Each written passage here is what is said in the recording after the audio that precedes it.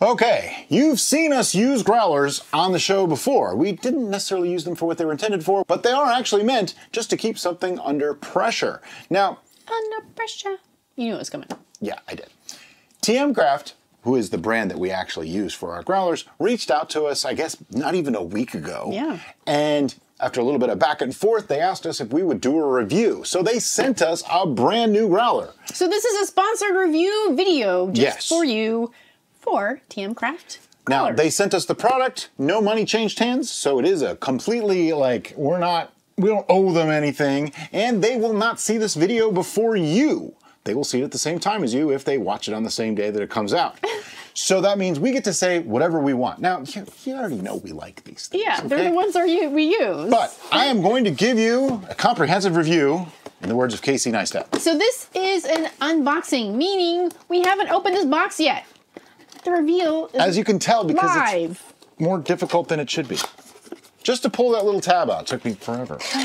Ooh, it's the black one. Ah, the black one. We didn't have a black one. That makes one. me happy. I like the black one. Oh, and they we got the the, the, the thingy. The thing. The Okay, let's let's start with the keg. The keg itself is a single wall construction. It's stainless steel. They do have this nice cap on top of it, so you can store it without anybody or anything getting inside it that you don't want.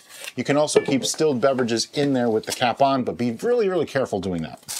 Which the thingy that she's talking about, I'm guessing it's a cozy, like a warmer or an insulator of some type. Yeah. I was trying to see if they had a Or it's just was included Yeah, list. it's. I don't really think this is going to do a whole lot for keeping it warm or cool. It's like a neoprene cover. I mean, it's nice. I like it. It's it's it's cute, and it says TM Craft on it. Um, I guess if you're transporting this and you kept it in the fridge Mm-hmm. and you put that on, that'll keep it a little cooler during transport. I can I can see that. I like it. Comes with instructions, also comes with some parts. Let's get to the parts. What's the word? What's the saying? Parts is parts. They usually give you some extra seals and pieces. That's really important to know. Then here is the pressure regulator, uh, and also the canister would plug into this. And the pressure regulators on these go up to 30 pounds. That's what tells me this is meant for holding carbonation in something that's already been made rather than actually carbonating because you generally want a higher carbonation and we broke one of these when we fermented in the in this because we got higher pressure than that. Yep. um, but it is actually a really nice smooth action on the valve. The increase and decrease is clearly marked. Really really easy to know if you're open or closed. Which is very important. important to know to do that.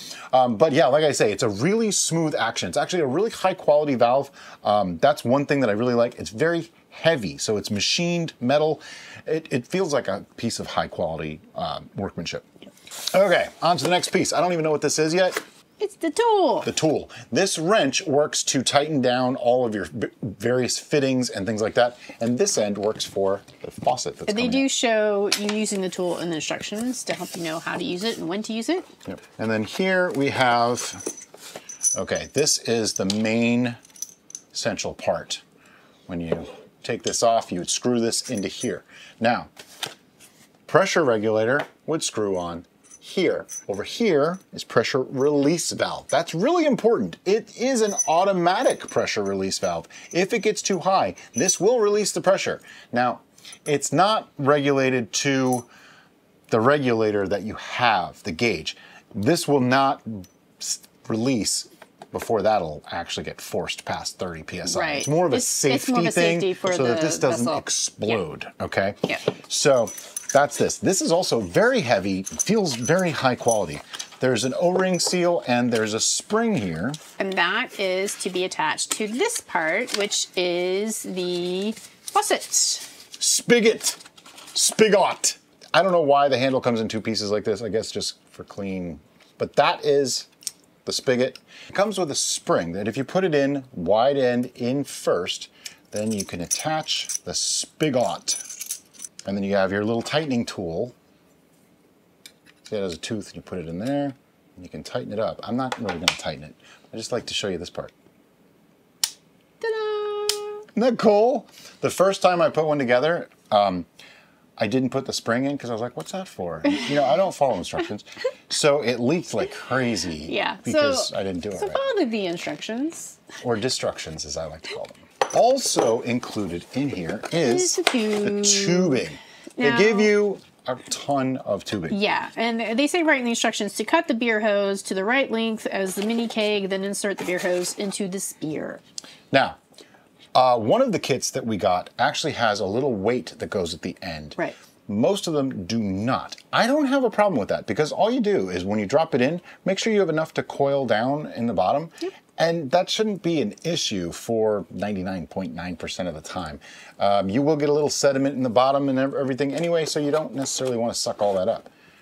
trying to rewrap the hose so it goes back in. But essentially, this is a complete kit. The only thing it doesn't come with is the CO2 canisters. It takes the 3 8 inch threaded cartridges.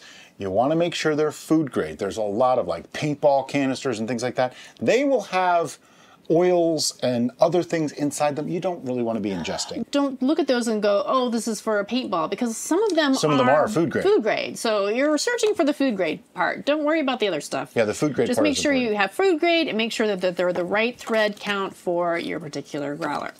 Make it sound like sheets. Sheets. Thread count. Oh, that's true.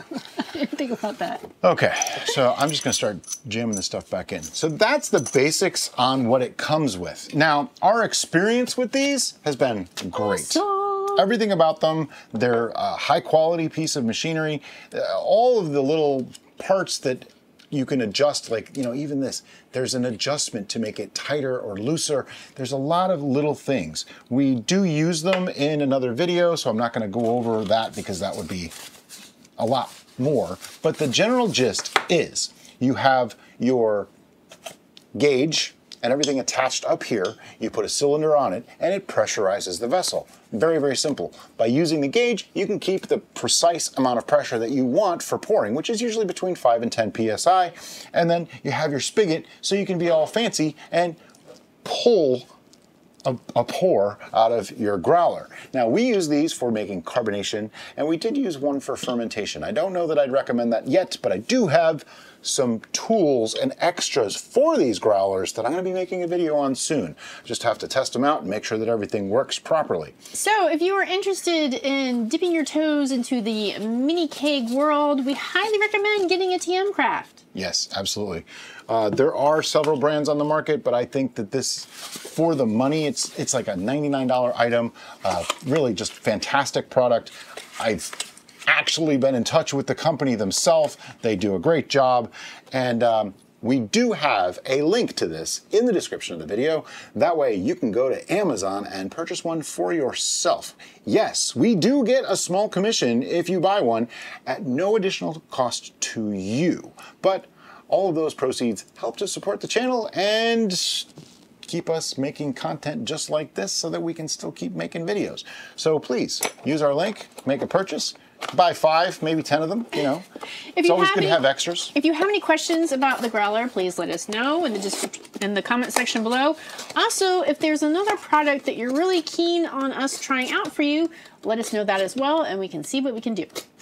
And as always, guys, thank you so much for watching and have a great day. Bye.